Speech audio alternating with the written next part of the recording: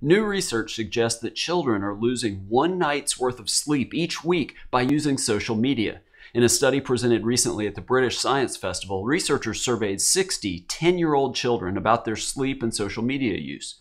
The children averaged 8.7 hours of sleep each night, less than the recommended 9 to 11 hours. That nightly sleep deficit equated to losing a full night's sleep each week.